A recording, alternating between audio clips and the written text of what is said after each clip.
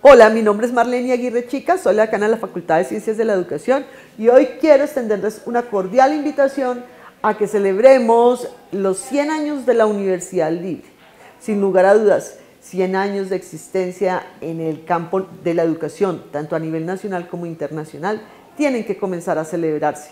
Por eso los invito a que comencemos a aplaudir este centenario participando en las actividades que se llevarán a cabo entre el 9 y el 13 de mayo del 2022.